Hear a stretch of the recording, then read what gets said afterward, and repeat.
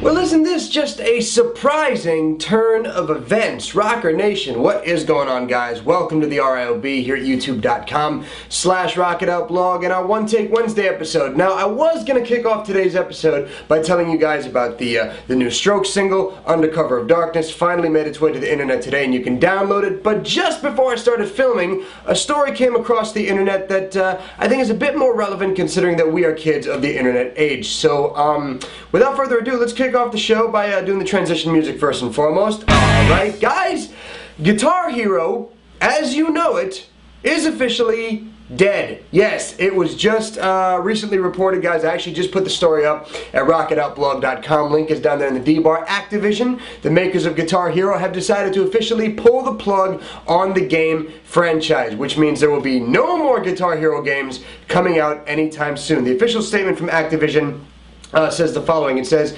they uh, they disbanded the Guitar Hero business unit and stopped working on the new Guitar Hero game for 2011. They have no more plans to make any more Guitar Hero games anytime soon, due to the fact that Guitar Hero has been selling poorly over the years, and there have been a lot of uh, a lot of layoffs at the uh, at the company uh, that makes Guitar Hero and also DJ Hero. So the future of DJ Hero uh, is kind of uncertain as well. No one knows if that franchise is going to stick around for any longer or whatever. And then then, for that matter, the whole genre of music gaming, you know, rock band and guitar hero, that might just be completely in jeopardy now too, considering that it's not, I don't know, it's just not as popular as it used to be. They're still fun to play, but they're not as popular anymore, and considering that, you know, with the economy, the recession times are tough, people aren't going to spend 60 to $80 on a gaming system, and then on top of that, you have to buy the new guitar, and then the drum set, and the bass, and the keyboard. Too much to buy.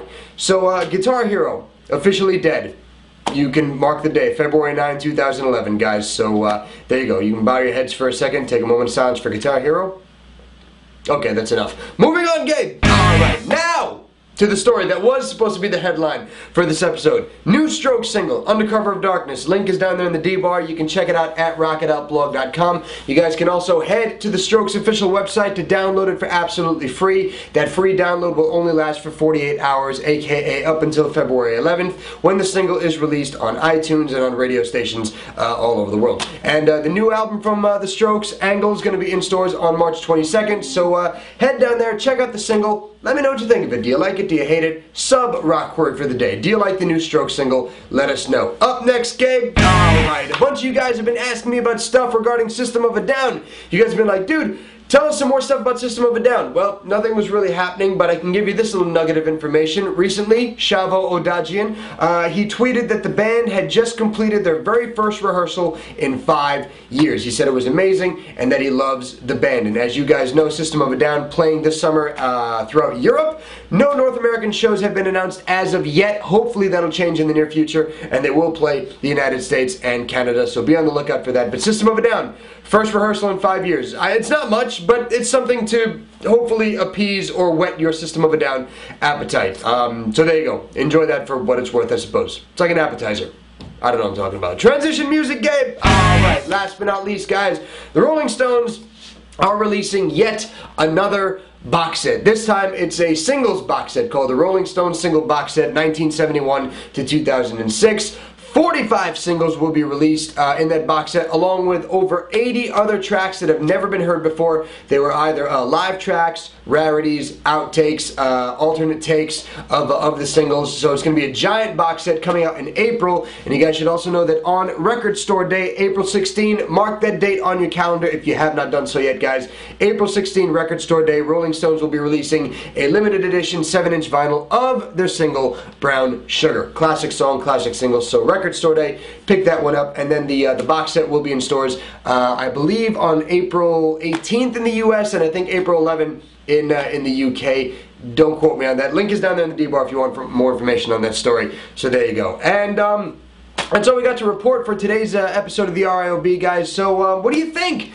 about the uh, the demise of Guitar Hero. Guitar Hero is dead. Long live Guitar Hero. It's gone, guys, forever. Not coming back anytime soon. At least not on uh, on a video game platform. It may come back in like a social networking or online gaming kind of uh, kind of platform. But uh, Guitar Hero officially dead. Your thoughts?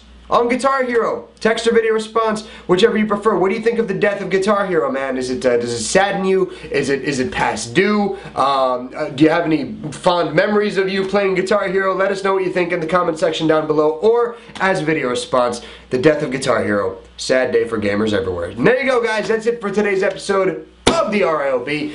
Thank you guys so very much for watching. I appreciate it, and uh, for subscribing we inch closer and closer to 27,000 subscribers. Guys, I believe we're less than 35 subscribers away from 27,000, so let's try to hit that mark as soon as possible. Follow us at twitter.com slash rockedoutblog, like our Facebook page, and if you have not done so yet, guys, vote for the Rocket Out blog. We've been nominated for a Bloggy for Best Music Blog of 2011. Link is down there in the D-bar so that you guys can go vote. We are up against a bunch of uh, sites like Pitchfork, The Recommender, uh, Your Band, uh, Your Band's name, I forget the name of the site, unfortunately, I apologize, but we're up against a bunch of uh, websites and we'd like to beat them. So go vote for us. And uh, yeah, that would be amazing if you did that. We'll be back tomorrow, guys. We're all done for today's episode. Thank you so much for watching. We'll be back manana with an all-new episode of the RIOB. So until then, rock horns up. You know what to do. Actually, what are you going to do with that plastic guitar now that Guitar Hero doesn't exist anymore? Hmm.